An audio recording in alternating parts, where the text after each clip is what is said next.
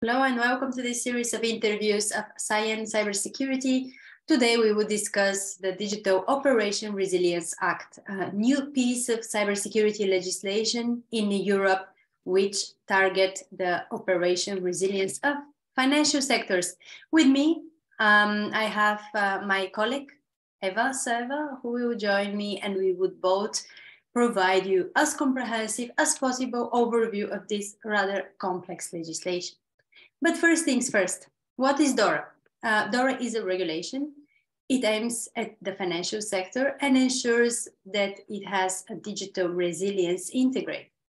It is not a completely new regulation. Uh, it is an update that brings the comprehensive overview of um, all components of operational resilience for financial sector.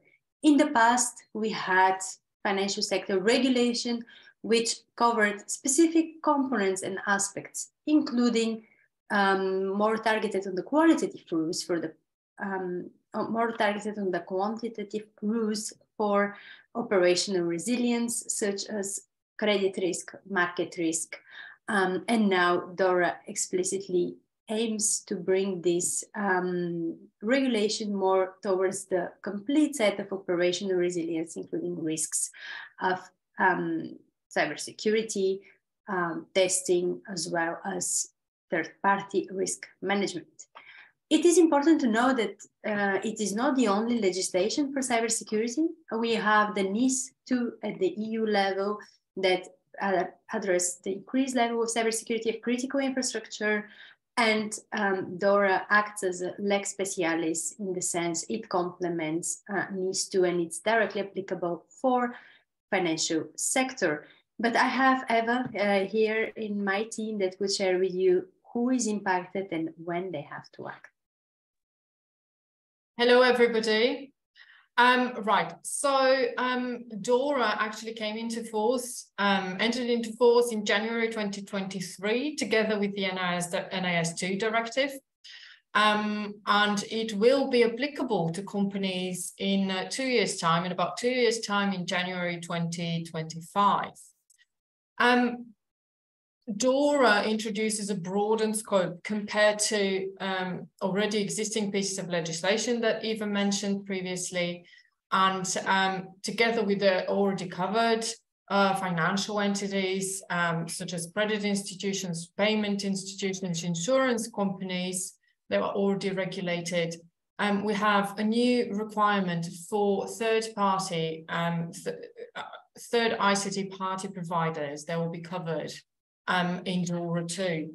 What does that mean? Uh, what we mean with uh, third parties, um, for example, these are companies whose core business has nothing to do with financial uh, uh with financial business, but they do provide a, maybe projects, services, products to a financial entity that's covered in DORA. Um, for instance, we talk about telecommunication companies such as internet providers, software providers, hardware providers, or cloud computing providers. And just because they they are all part of the ecosystem and they're all part of the supply chain, they will be um, subject to the new DORA regulation. And in a way, we say that those companies, they work completely independently from one another. Their, their core business has nothing to do um, with one another, but at the same time, they, they work together at the same time. Um, and why did DORA actually come into, into being? And the proposal was actually um, introduced during the peak of the COVID pandemic in, in 2020, in September 2020. Um, it was um, it was not really the result of the pandemic and the sort of the rapid transformation in terms of digitalization that happened um, at the initial months of COVID because the, the fintech sector was the financial sector was already going through a very rapid transformation. Uh, we talk about online banking, mobile banking, the rise of the fintech. So it, it was really already happening, but the um, law uh, had to adapt to the new normal. And um, at the same time, also malicious actors, they do adapt to the new normal and they do try to um, find the softest spot the where the vulnerability might occur and uh, try to target their uh, them try to interfere with work of their main target. Uh, so this is why we talk about the supply chain. This is why we talk about the um, regulations for the new um, the new requirements for the ICT service providers because exactly because of the rise um, in the supply chain attacks. Um, a bit of a bit of data here. Uh, we the financial sector is one of the most targeted sectors. It has always been one of the most targeted sectors, but especially in the latest, the last few years. Um, for example, in 2021, we have 2,527 um, reported cyber incidents in the financial industry worldwide, and they have been up from 722 in the previous years in 2020. And here we're talking about a, a, a threefold increase of cyber incidents. Um, however, even, even though we have this major increase, um, luckily the um, cyber incidents that resulted in data disclosure or major loss, and um, they remain stable. Um, at the same time, we have uh, some data from the World Economic Forum and from ANCOR, and they report that between 39% and 62% of organizations were affected by a third party related cyber incident. And according to Mandiant, supply chain compromises were the second most prevalent initial infection vector identified in 2021. And they also account for 17% of the in, in incidents in 2021, which compared to 2020, which was less than 1%, is quite a huge increase. So this is why DORA was put forward, the new requirements were put forward, and now Eva, up to you. What are these new requirements? Indeed, so you laid the ground very well. We know what we are fighting, what regulators are trying to address as an issue. Um, and in a nutshell, they, they see at least the, DORA uh, requirements are uh, circulating around implementation of effective cyber resilience measures and testing, as well as managing ICT supplier security risks that we have very well presented that they are there prevalent, um, including the review of critical ICT providers uh, during a due diligence check. And last but not least, report, report, report cybersecurity incidents. If we deep dive into these requirements, you would notice for those of you that are familiar with cybersecurity, um, information security standards, that they resemble a lot the NIST 27001 philosophy of define, manage the risks, as well as implement measures. And here the measures are are really aligned with the NIST framework, where you focus on identification, uh, protection, detection, uh, response, and recovery. If we wonder, okay, this is very generic, very nice to have, um, the regulator also wrote down specific measures that each of those categories should include. For instance, the uh, definition of the policies, it's very specific. You have to have internal governance and control framework that ensures an effective and here is the key prudent management of ICT risks. This I find very curious um, why we focus on the prudent. So here again, the financial sector very um, traditionally strongly regulated sector remains very, um, let's say, with strong requirements. Um, on the other hand, we have strong risk management framework requirements. So ICT risk management should have a sound and comprehensive and well-documented ICT risk management framework as part of their overall risk management systems, which, and here again, the devil is in the details as always, uh, enables financial entities to other, tackle ICT risks quickly efficiently and comprehensively. So this is not just about having something and looking at risks. This is not these requirements go beyond the expect financial entities to act upon risks quickly and effectively, comprehensively. this we know it's usually a challenge for companies, especially when we speak about comprehensive strategy in connected ICT world. This is uh, really a, a, a, big workload eventually. What is next in the requirements list? Um, you have uh, to use uh, uh and maintain secure system, updated ICT systems, protocols, and tools. So here again, focus on lifecycle management of ICT tools and system. And we deep dive, uh, or the regulator deep dives in uh, DORA with the specific aspects um, of measures around identification, where it even specify what should be identified. And it goes as shall identify, classify, and adequately document all ICT supported business functions, roles and responsibilities, the information assets, and, IC, and ICT assets supporting those functions and their roles and dependencies in relation to ICT risks. Probably many of you, if you're not familiar with cybersecurity, this is a lot of words, doesn't make much sense.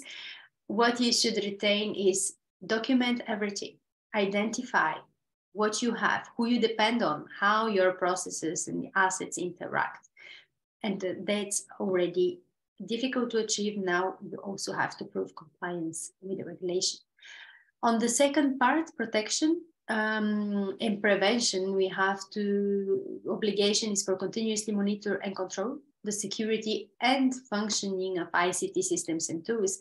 This is very important specification because it's not only about security issues, but also about resilience, continuity, availability of ICT systems. Um, expectation of regulators to achieve a high standard of availability, authenticity, integrity, and confidentiality of data. Um, and this extends not only for the data that you have stored in your systems, but also for the data in transit. On the detection side, um, mandatory requirement includes um, mechanism, and this is broad language, it would differ for different companies, but you have to have in place a mechanism to promptly detect anomalous activities. Uh, attention point here, we don't speak only about incidents. We speak about anomalies before you correlate them to incident. Expectation for regulator also is to detect network performance issues and ICT related incidents, which is not necessarily cyber issue. It, it goes to any ICT performance issues and identify potential material single points of failure. And last but not least, on the response and recovery side, in the security measures, it's expected that companies have ICT business continuity policy, and this one is comprehensive as well. Um, these are the measures, but what happens when incident happens? Um, there's very strict requirements also on this side. What do you do when an incident occurs? Uh, first and foremost, you have to have crisis communication plans. Um, they should be enabling uh, responsible disclosure of at least major ICT uh, incidents or here or vulnerabilities to clients and counterparts, as well as the public as appropriate. Mm, no one is saying you have to uh, publicly disclose everything. Here, the requirement is very clear. You have to have the communication plan written down piece by piece, what you're going to do in all these different situations.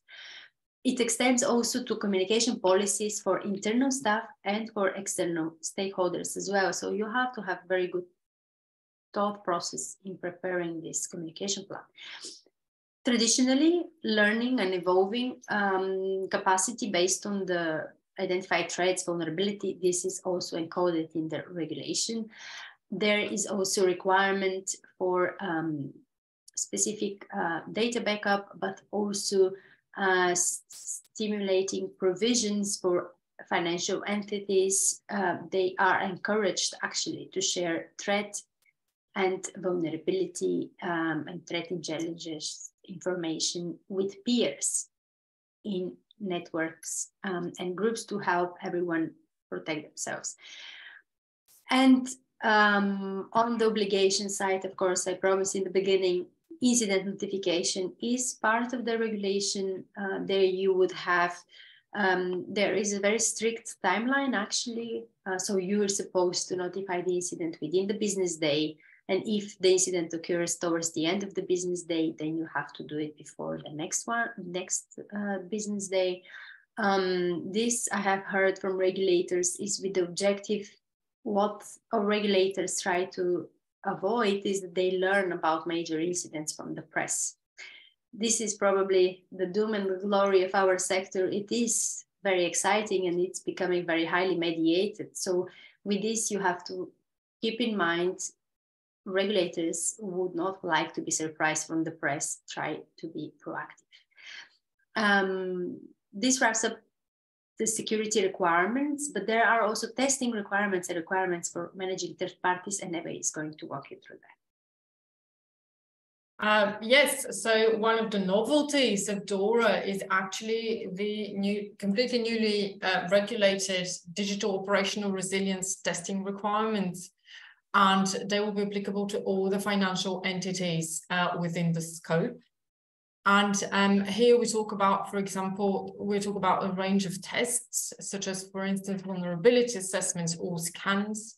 And we talk about um, developing methodologies, practices, and tools that um, these sorts of testing, um, these digital operational resilience testing, they need to be conducted at least once a year on all ICT systems and applications supporting critical or important functions for the financial entity in question.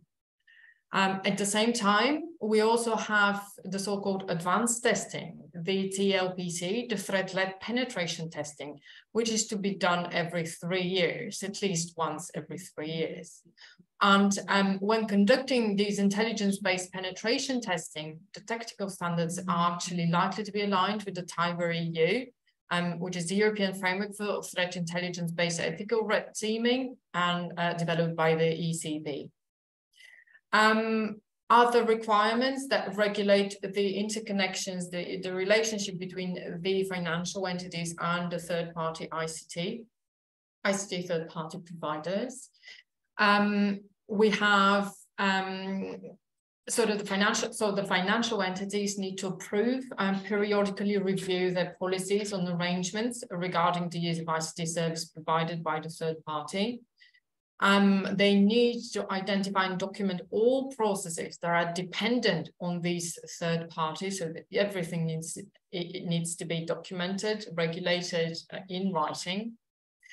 Um, they need to ma maintain and periodically test appropriate ICT business continuity plans with regard to the critical or important functions outsourced or contracted through the arrangements with the, our third-party providers. Basically, we're talking about uh, business continuity departments and recovery teams, um, which need to manage how critical outsourced ICT. We know the phenomenon of outsourcing, how important it is in the last years and um, how these third party um, sort of the receivers of the outsourcing um, and how they deal with the incident reporting. Last but not least, very important here, um, financial entities need to develop um, uh, security awareness programs and digital operational resilience training and awareness as sort of a, a compulsory training uh, modules for the employees and senior management, but not only. Um, they also need to include uh, their third-party providers in their relevant training schemes. This is very important because, uh, as we said at the beginning, um, these third-party providers, their core businesses might have nothing to do with cybersecurity or operational resilience in general. So they need to be up to the technical standards, technical requirements, the legislative framework. So it is very important for them. It is very important for the financial entities to include um, their uh, third-party providers in, in, in, in their trainings. And finally, um, all of these requirements that I've just listed um, needs to be regulated in sort of a contractual arrangement between a financial entity and the third and the third party. Um, for ICT services supporting critical and important functions, uh, establishing a third country, because clearly uh, not all of the companies that not all of the third party third parties we're talking about would be established in the union in the European Union. So we have those that are established outside. Um, financial entities need to pay attention to to to to those that are established outside and they need to take into consideration the compliance uh, with union data protection rules um, such as for example uh, the GDPR And if you like this overview, we wrapped up um, very comprehensive, very large legislation in just 15 minutes. So if you like these reviews, have a look in our other videos. We have reviewed the NIS2 uh, GDPR, but there would be new upcoming content every month. We interview different uh, cybersecurity experts on many of the topics we have just highlighted third-party security management, uh, awareness and training, incident management, vulnerability management, you name it. You can find free resources on our channel, subscribe and follow us. Thank you.